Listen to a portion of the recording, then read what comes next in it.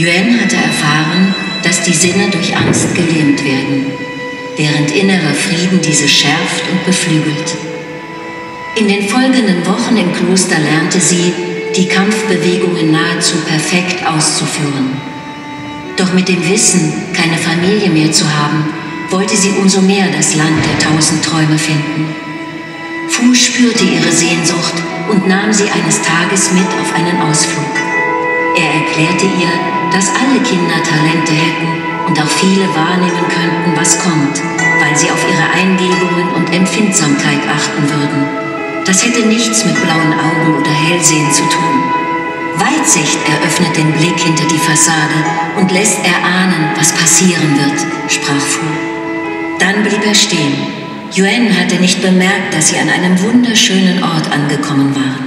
Willkommen in die Feng, lud Fu sie ein. Willkommen beim Fest des wahren Sehens.